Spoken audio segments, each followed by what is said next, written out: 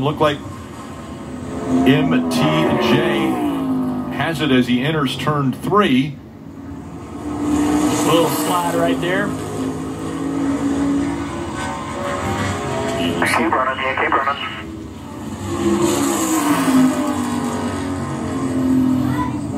Other side. Just- Now the good news, I'd be frustrated if the car was tight overall. It looks like it's just free. It looks like the back is is definitely the one that lacking grip. It's going to be two and a half tenths, three tenths of a second off of what Reddick posted. So Truex is now the slowest of the nine that have gone. And here comes Harvick, the final one to try to knock Reddick off the top of the charts.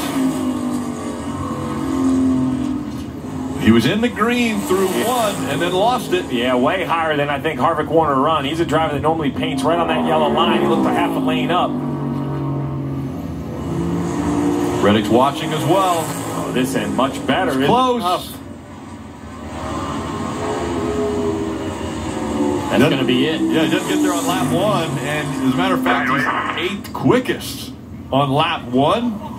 It's going to shut it down. How about Tyler Reddick winning the pole here at Richmond, the 27-year-old with his fifth career pole? And you see team owner Denny Hamlin over there.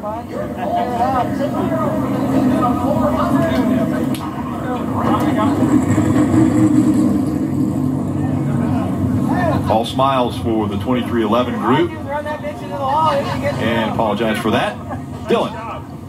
And let's step in and grab a word with Tyler Reddick. Denny Hamlin, who, of course, co owns this car, was standing there watching our monitor and said, I told Chris Gabehart before the session that pole would be a 74, and he got it right. That was the time to beat for Tyler Reddick as he gives fist bumps to the crew, and we'll bring him over here. Remember, he got in the wall too in the first round, and the right side of this car is pretty beat up. So uh, that was uh, that was an exciting session from from top to bottom for you. But do you feel like you got everything out of this race car you could to get the pole? I mean, I, I got everything out of it for sure um, to get into the into the second round. But uh, man, it's just a, it's a really exciting weekend for for this team. Obviously, West Coast Customs has their their own NASCAR version of a Toyota Camry um, just outside the racetrack that they're putting together today and tomorrow that they're going to be giving away to the NASCAR Foundation. So this car behind us it looks a lot like what that uh, what that car is going to look like here by the end of the day tomorrow. So I'm just really excited to be able to get this pole. You know, our car was its fast as Xfinity 10G, and well, it's the Xfinity 10G car, so I think that fits pretty well. I think so too. Tyler Reddick.